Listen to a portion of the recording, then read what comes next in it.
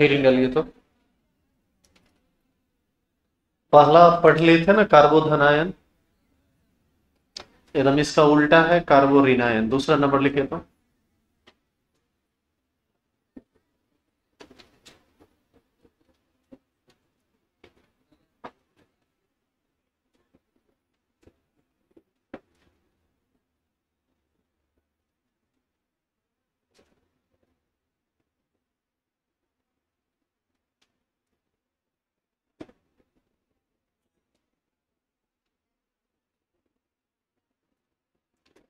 लिखते जाइएगा साथ साथ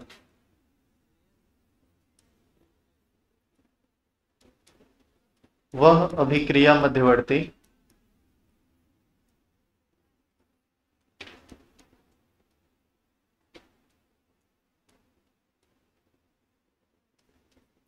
जिसमें कार्बन परमाणु पर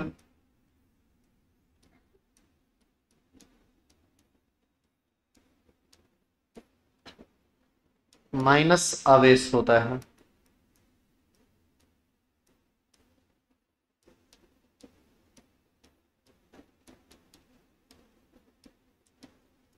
उससे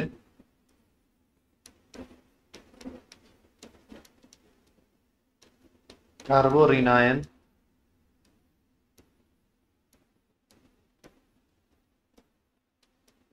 कहते हैं। जैसे C H three minus C H two C H three minus E T से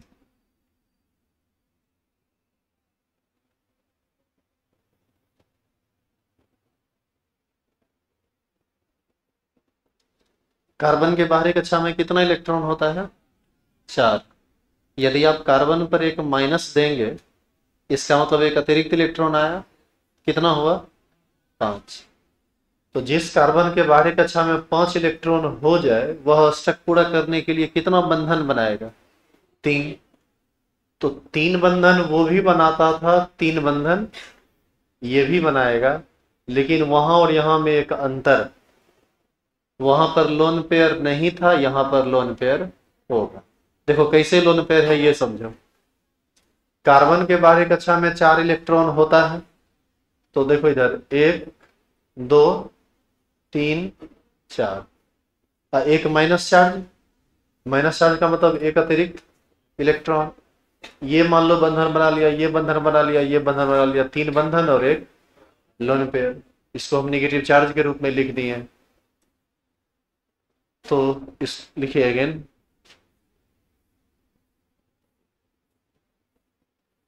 अगेन लिख के ये वाला फ़ोटो बनाइए तो।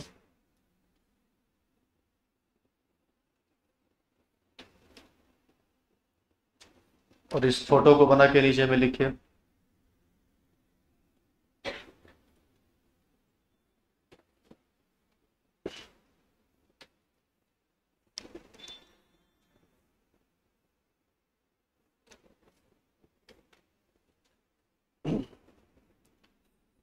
लिखा है क्या?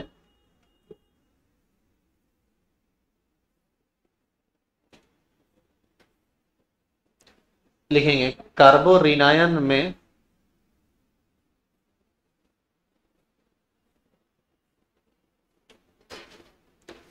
कार्बोरिनायन में ऋणावेशित कार्बन परमाणु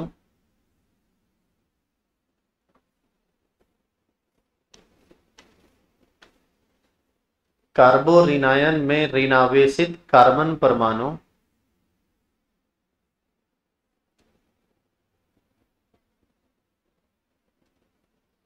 तीन सह संयोजन बंधन, तीन सह संयोजन बंधन बनाता है, तीन सह संयोजन बंधन बनाता है,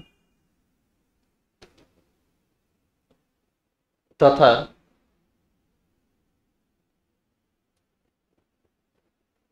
इसके पास तथा इसके पास एक लोन पेयर एलपी तथा इसके पास एक लोन पेयर होता है।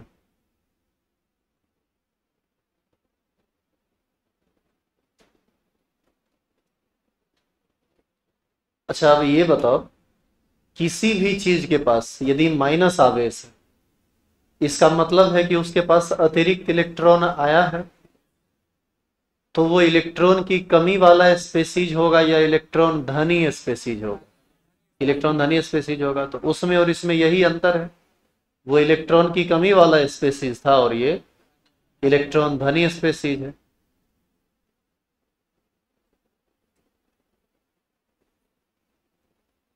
एरो देखे लिखिए इसको।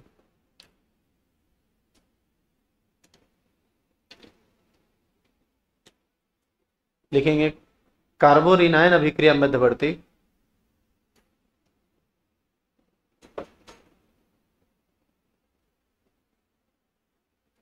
कार, कार्बोरिनायन, धनायन बोल दिए थे क्या?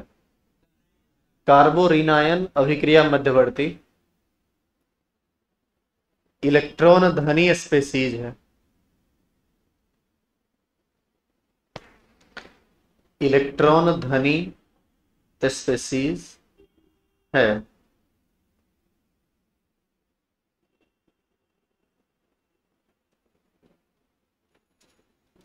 हो गया। पूर्ण विराम दीजिए अब, थोड़ा इधर देखिए। ये कार्बन तीन बंधन बनाए हुए तो इसमें कोई ग्रहण करने वाला परमाणु लग जाए तो ये इसके स्टेबिलिटी को बढ़ाएगा या घटाएगा या कोई प्रभाव नहीं डालेगा। बढ़ाएगा। इसलिए बढ़ाएगा, क्योंकि आप यदि किसी चीज़ पर ऋणावेश डाले हैं तो वो प्रयास करेगा कि ऋणावेश खत्म हो जाए। तो ऋणावेश खत्म कैसे होगा? जब उससे कोई इलेक्ट्रॉन खींच ले। अच्छा यदि इस पर धन आवेश रहता, तब आप यदि और कोई एक्सेप्टर लगा देते तो और मुश्किल में पड़ जाता। है एक तो इलेक्ट्रॉन खाली पहले से है, ऊपर से और ऐसा परमाणु आप लगा दिए जो इलेक्ट्रॉन खींच रहा है। तो कार्बोधनायन तो पिछला दिन आप पढ़े ही थे। तो अभी जो आप लिखे हैं कि कार्बोधनायन अभिक्रिया मध्यवर्ती इलेक्ट्रॉन धनी स्पेसीज है तो यहाँ हम ये कह सकते हैं, अतः ग्राही परमाणु इसके स्टेबिलिटी को बढ़ाता है, जबकि दाता परमाणु इसके स्टेबिलिटी को घटाता है। अब कोई इलेक्ट्रॉन देने वाला इसमें लगा दोगे, इसमें पहले से इलेक्ट्रॉन जमा हो है और इसको इलेक्ट्रॉन देगा, निगेटिव चार्ज के साथ और निगेटिव चार्ज आएगा तो बताइए वो कभी भी स्टेबल हो पाएगा? लिखेंगे। इसी में इसी में लिखना है। अतः अतः, ग्राही परमाणु, अतः, ग्राही परमाणु, इसके स्टेबिलिटी को मतलब स्थिरता, अतः, ग्राही परमाणु इसके स्थिरता को बढ़ाता है।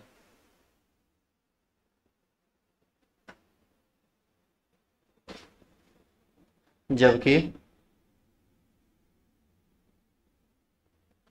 दाता परमाणु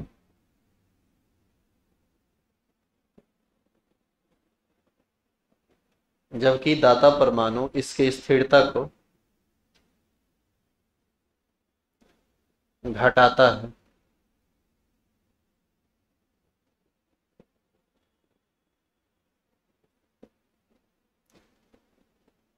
कार्बोधानाइन कितना प्रकार का हुआ था? चार प्रकार का। कौन कौन बताओ? Methyl carbocation one degree carbocation two degree carbocation three degree carbocation यही था ना? एग्जैक्ट वैसे ही कार्बोरिनायन भी कितने प्रकार का होता है?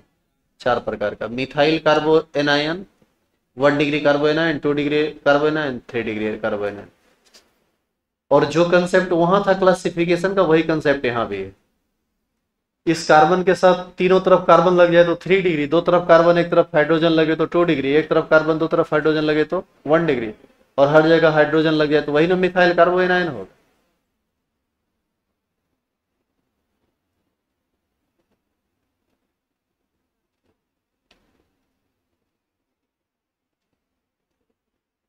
लिखेंगे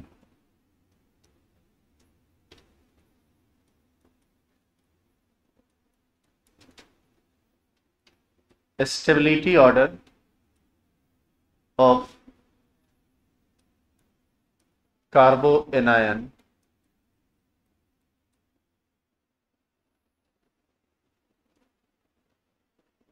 Stability order of carboanion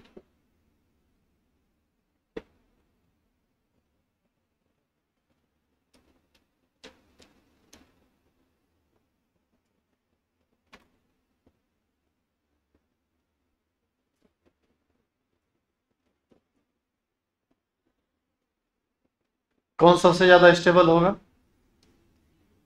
cut इस बार उल्टा हो जाएगा। मिथाइल कार्बोरिनाइन सबसे ज़्यादा स्टेबल होगा। वन डिग्री उससे कम। टू डिग्री उससे कम और थ्री डिग्री थ्री डिग्री वाला जो ऑर्डर था वो कार्बोकेटाइन में फॉलो करता है। उसका एकदम उल्टा स्टेबिलिटी ऑर्डर होता है इसमें। उतरिए समझ में आया कैसे? अभी तुरंत तो बताए थे। थ्री डिग्री में तीन तीन को डोनर लग जाएगा ना एल्काइल एल्काइल का कैसा गुण होता है? इलेक्ट्रॉन देने वाला, या इलेक्ट्रॉन लेने वाला। इलेक्ट्रॉन देने वाला और कोई भी दादा परमाणु इसके स्टेबिलिटी को घटाएगा तो सबसे ज़्यादा अनस्टेबल हो जाएगा थ्री डिग्री। इसको उतारेंगे।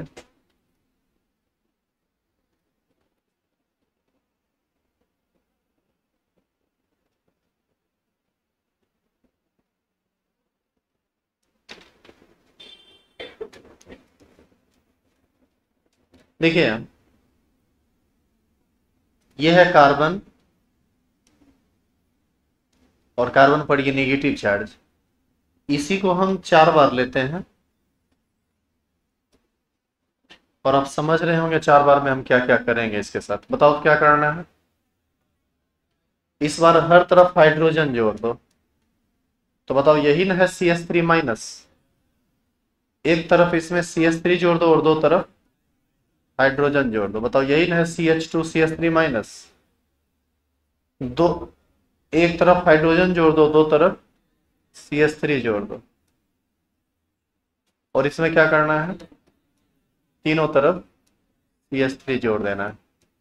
कौन है थ्री डिग्री यही ना थ्री डिग्री देखो, ये भी डोनर ये भी डोनर ये भी डोनर तीन तीन को डोनर लगा हुआ है। दाता परमाणु स्टेबिलिटी को घटाता है तो सबसे कम स्टेबल ये होगा। इसमें दो एक डोनर है।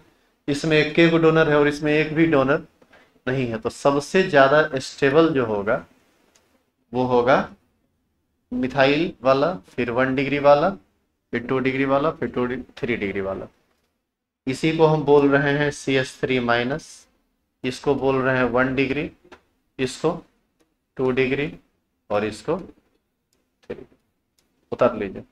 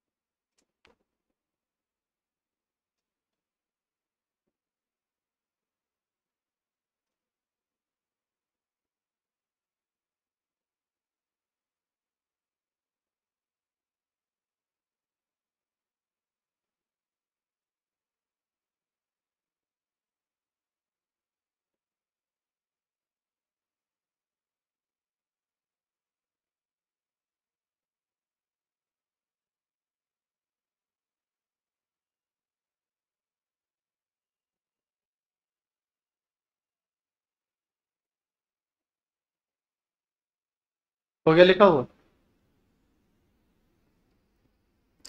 अगला हेडिंग डालिए तीन नंबर मुक्त मूलक चेंज करें ना इसको?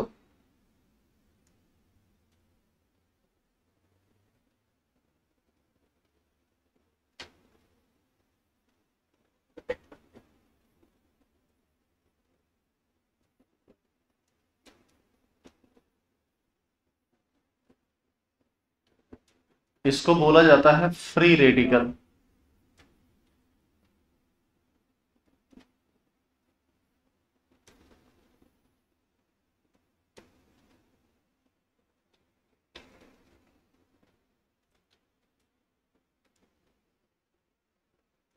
मुक्त मूलक फ्री रेडिकल। कार्बोधनायन में देखा, कार्बन पर धनावेश था। कार्बोरिनायन में कार्बन पर ऋणावेश था। मुक्त मूलक में कार्बन पर अयुग्मित इलेक्ट्रॉन रहता है। आप याद कीजिए, बंधन टूटा था तो तीन बात हुआ था। लिखेंगे। वह अभिक्रिया मध्यवर्ती।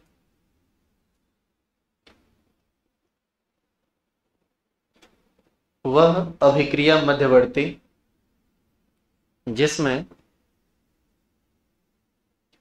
कार्बन परमाणु पर वह अभिक्रिया मध्यवर्ती जिसमें कार्बन परमाणु पर अयुग्मित इलेक्ट्रॉन रहता है।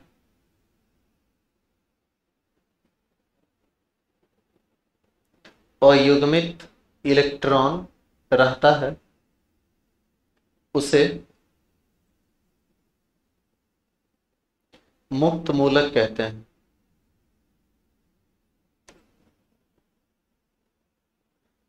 उसे मुक्त मूलक कहते हैं।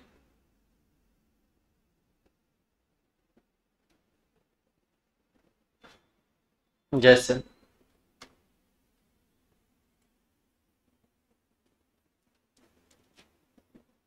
C S three dot C H two C S three dot E T से और इसको भी समझ लीजिए आप। अगेन करके।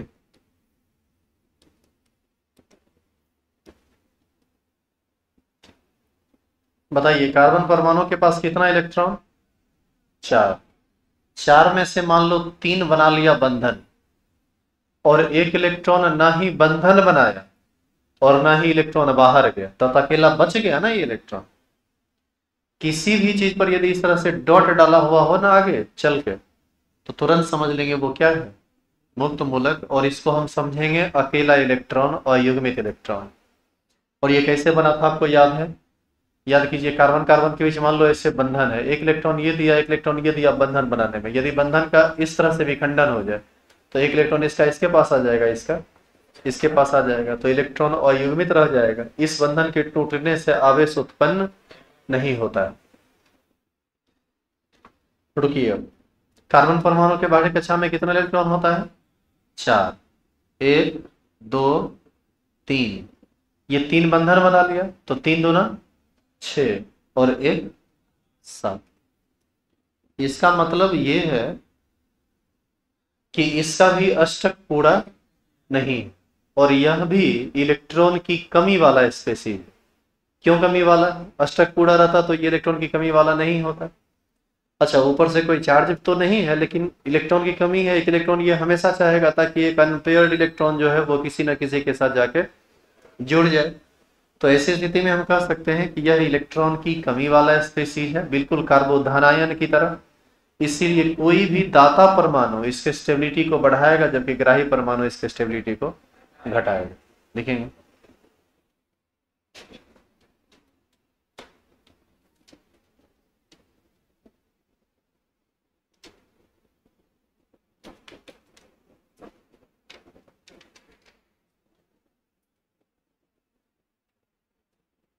नीचे अगेन करके ये वाला फ़ोटो बना लीजिए और फ़ोटो के बाद नीचे एरो देके लिखिए।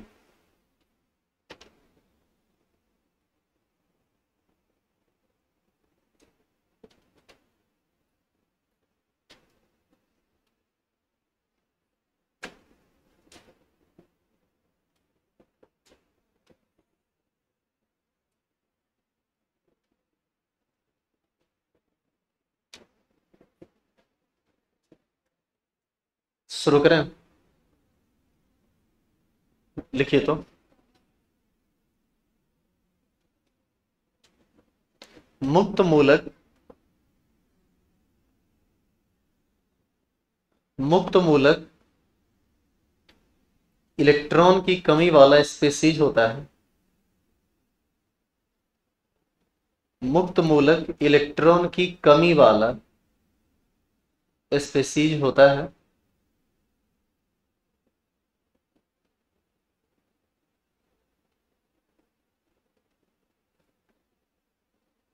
जिसमें कार्बन परमाणु के पास, जिसमें कार्बन परमाणु के पास एक अयुग्मित इलेक्ट्रॉन, जिसमें कार्बन परमाणु के पास एक अयुग्मित इलेक्ट्रॉन तथा तीन सह संयोजन बंधन। तथा तीन सह संयोजन बंधन होता है।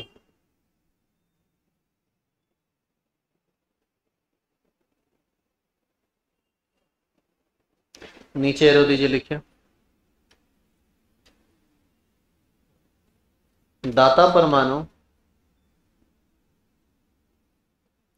दाता परमाणु, मुक्त मूलक के स्थिरता को, दाता परमाणु मुक्त मूलक के स्थिरता को बढ़ाता है।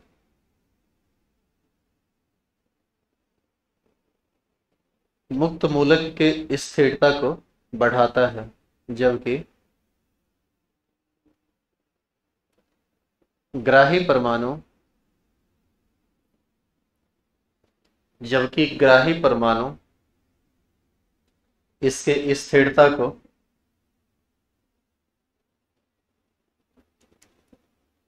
जबकि ग्राही परमाणु इसके स्थिरता को घटाता है।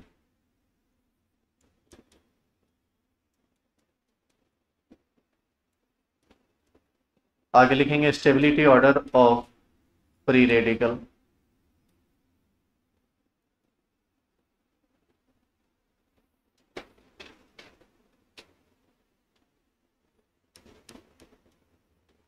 C S three dot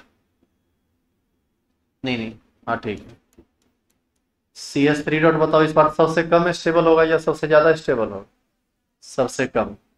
कार्बोरिनाइन वाला जो केस है वो आ जाएगा। फिर फिर होगा वन डिग्री फिर होगा टू डिग्री और फिर होगा थ्री डिग्री सबसे ज़्यादा अस्थाई होगा।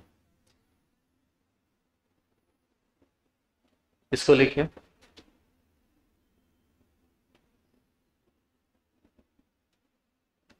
और अभी भी इसको आप नहीं समझ पाए तो आप इस फ़ोटो को देखिए, समझ में आ जाएगा।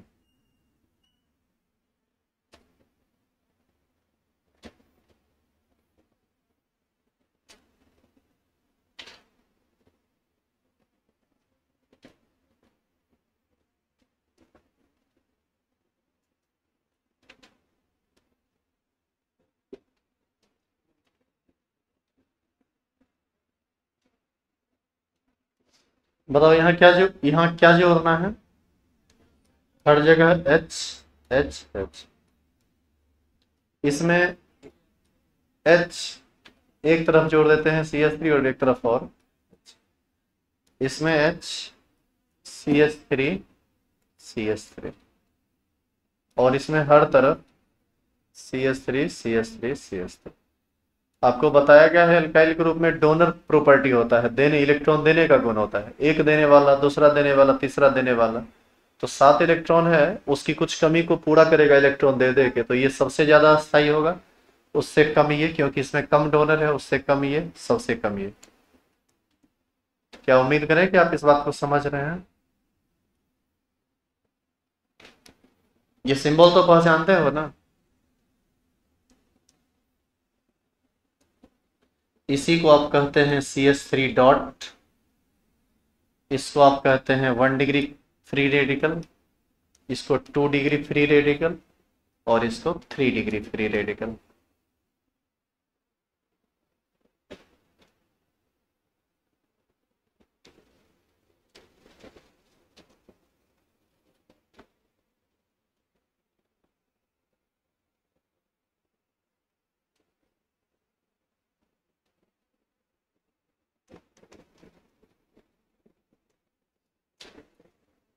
हो गया तो तीन अभिक्रिया मध्यवर्ती समाप्त है, जो आपको पढ़ना है मुख्य रूप से।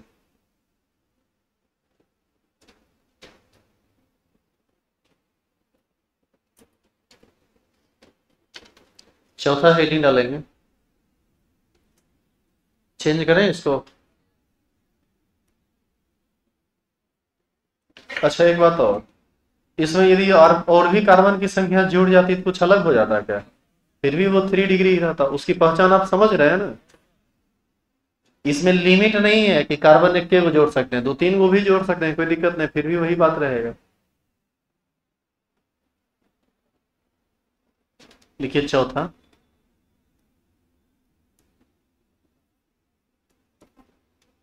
कार्बीन।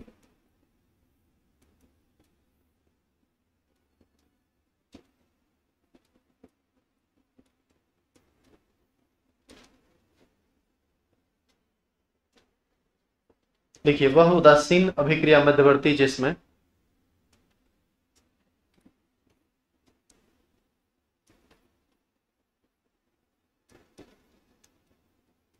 वह उदासीन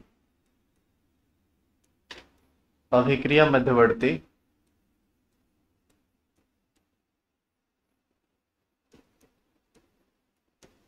जिसमें कार्बन परमाणु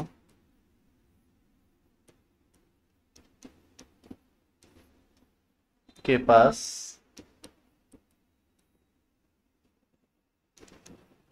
दो सह संयोजन बंधन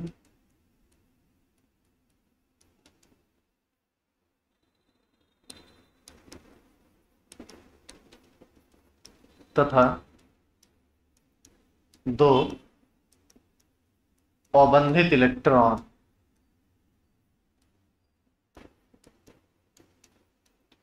होता है।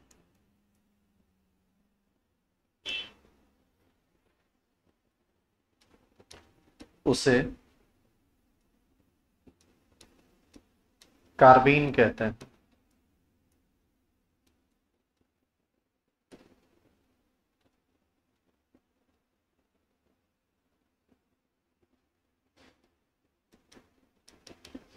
जैसे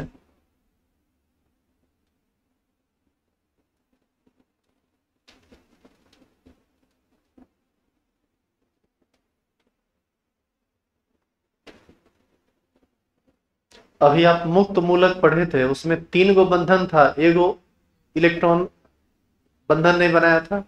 इसमें चार बंधन में दो गो बंधन बनाए हुए है, दो गो बंधन बनाए हुए नहीं। यह भी मध्यवर्ती ही है, लेकिन ये आपको पढ़ने के लिए आएगा नहीं। पचवा लिखेंगे।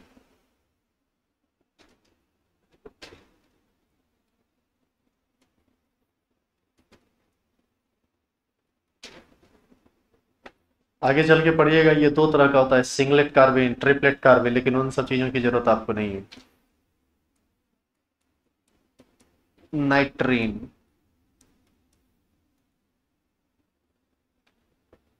लिखेंगे, वह उदासीन अभिक्रिया मध्यवर्ती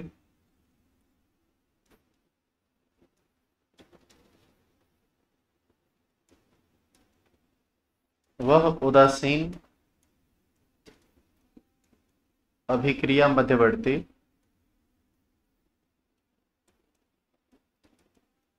जिसमें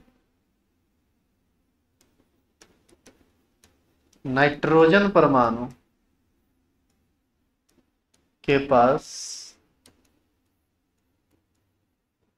एक सह संयोजन बंधन, एक सह संयोजन बंधन तथा चार अबंधित इलेक्ट्रॉन होता है।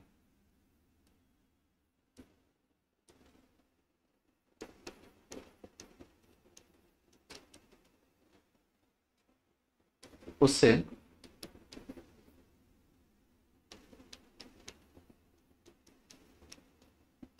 नाइट्रीन कहते हैं।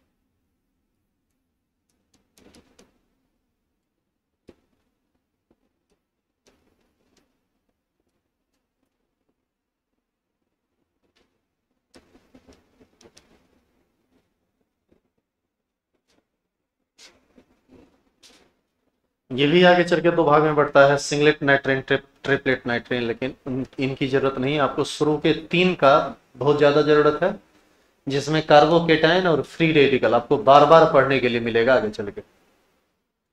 तो ये था अभिक्रिया मध्यवर्ती।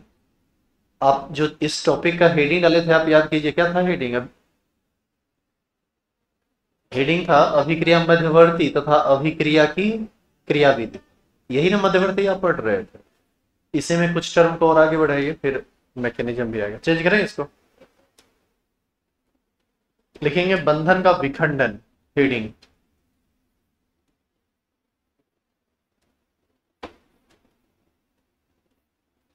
विखंडन का क्या मतलब होता है? टूटना।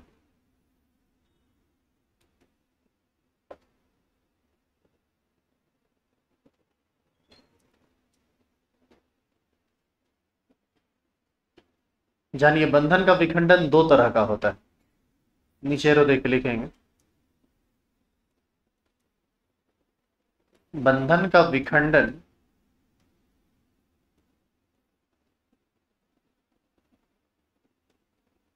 दो तरह का होता है।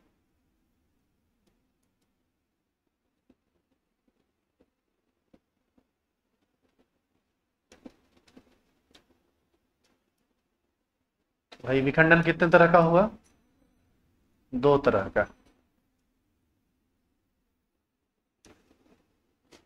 एक होता है समांस विखंडन।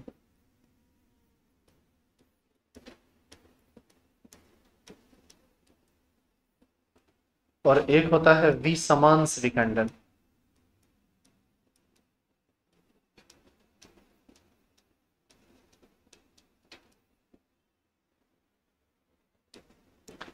अब दोनों में अंतर समझो। मान लो कि ए और बी आपस में सिंगल बॉन्ड का निर्माण किया। और यहाँ भी हम मान लेते हैं कि ए और बी आपस में सिंगल बॉन्ड का निर्माण किया।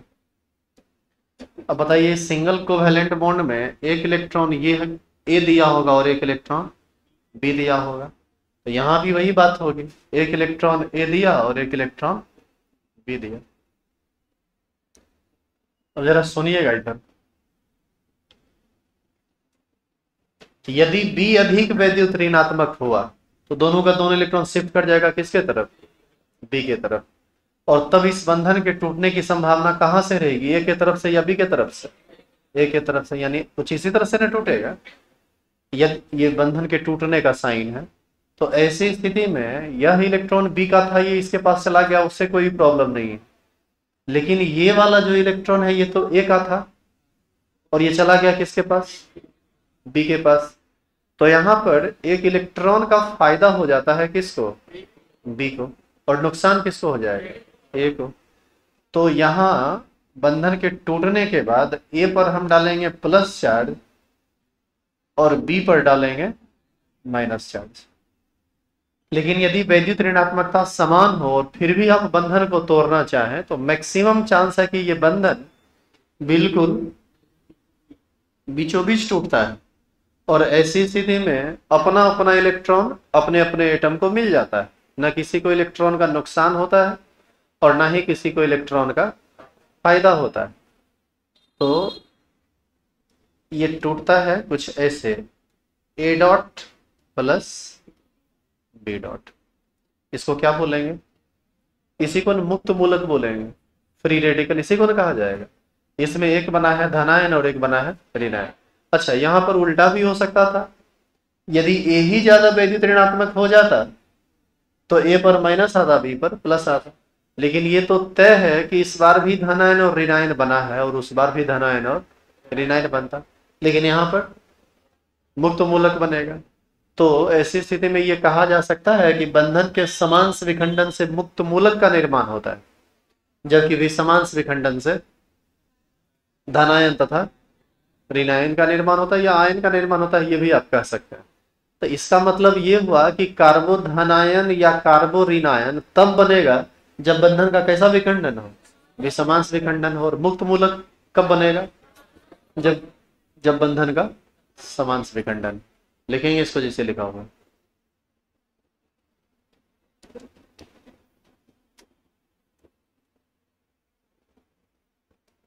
यहाँ पर बना मुक्त मूलक।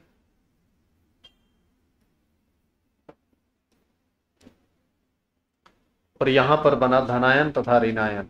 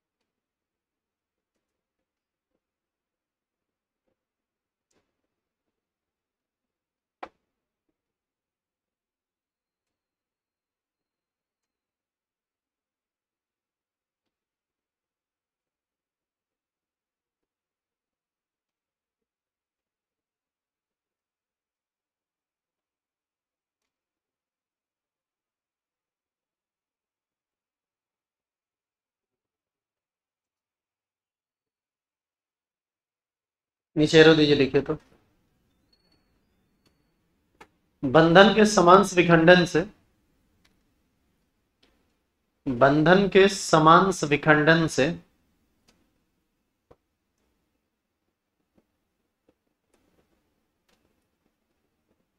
मुक्त मूलक का निर्माण होता है। बंधन के समान विखंडन से मुक्त मूलक का निर्माण होता है। जबकि विसमान विखंडन से जबकि विसमान विखंडन से धनायन तथा ऋणायन का निर्माण होता है।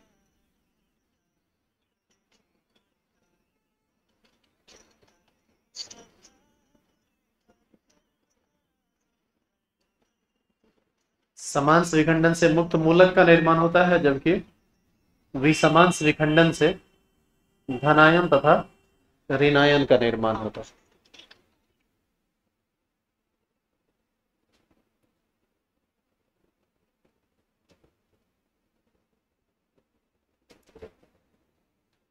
क्लास चलेगा या रुकेगा?